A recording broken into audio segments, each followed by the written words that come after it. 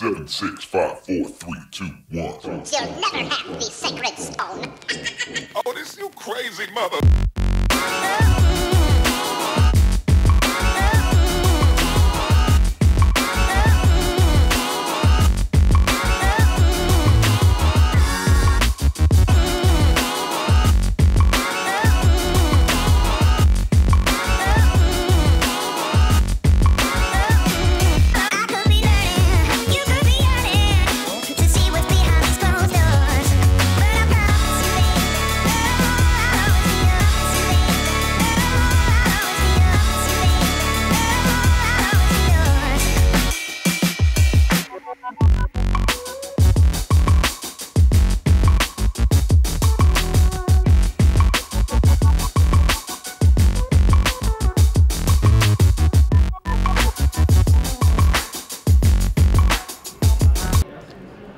fünf Erfolgsfaktoren für erfolgreiche Neukundenakquise am Telefon.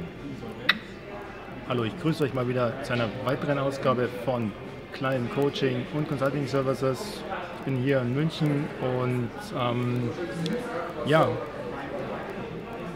heute habe ich mich entschieden, diese kleine Videoserie hier zu gestalten und ähm, mit dem Fokus auf fünf wichtigsten Erfolgsfaktoren in der Neukundenakquise am Telefon.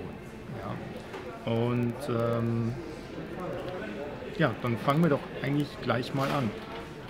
Erfolgsfaktor Numero uno ist der Check recht, der rechtlichen La- Lage. Ja? Also Prüfung der rechtlichen Lage. Ja? Und ähm, hier ist nämlich ganz interessant, hier muss man nämlich ganz äh, ja, erstmal unterscheiden, ganz grob unterscheiden zwischen B2B und B2C. Ja? Und in B2C ist es natürlich etwas stärker, die rechtliche Lage noch etwas strikter. Und das seit 2009 zumindest. Und dann wurde es auch nochmal verschärft.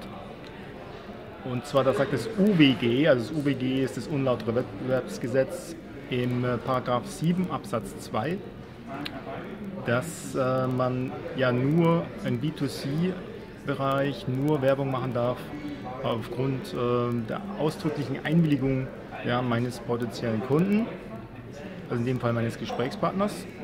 Das heißt, es ist die sogenannte Opt-in, äh, Double Opt-in-Pflicht, äh, die ja auch im E-Mail-Marketing seit diesem Zeitpunkt äh, Pflicht ist. Ja. Und äh, da kommen auch noch ein ganz, eine ganze Reihe von zusätzlichen Faktoren, dass man zum Beispiel, wenn man jetzt ein Formular zum Beispiel hätte, ja, dass, man, dass das nicht vorausgefüllt werden darf. Ja, und noch so viele Kleinigkeiten, äh, was das Telemarketing, äh, was das äh, Marketing an sich betrifft, aber das sind jetzt eher Themen des Online-Marketings. Wir fokussieren uns ja in dieser Videoserie hauptsächlich auf das ja, Telemarketing.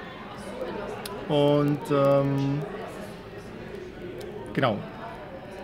Und hierbei wiederum auf B2B, denn in B2B ist dieser eine ja, wichtige Zusatz, den du im B2C nicht hast. Und das ist, im B2B darfst du auch sozusagen Kundenakquise betreiben, ja, Neukundenakquise, wenn du ein konkludentes, ähm, also eine, ein Mut, eine mutmaßliche Einwilligung vorliegen hast. Ja? Und was ist es jetzt genau? Naja, hierzu ein ganz konkretes Beispiel. Man angenommen, ich bin ein Supercrack und habe eine Software entwickelt, die Oracle oder SAP-Datenbanken optimiert. Ja, sagen wir mal hierarchische Datenbanken, die früher eben ähm, ganz früher ja, in den ganzen Main, Mainframes, äh, in Frameworks ähm, genutzt worden sind, äh, IBM und so weiter. Und ähm, die auch heute noch viele Versicherungen und Banken und so weiter äh, groß, in großem äh, Stil einsetzen.